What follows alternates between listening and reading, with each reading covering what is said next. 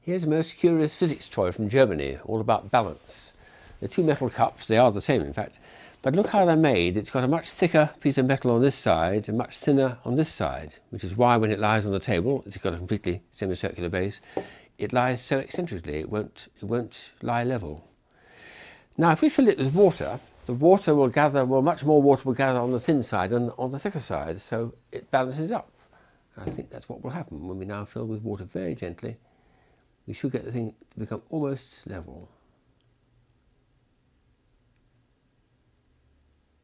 There she comes. Wow. And now we'll try the other one.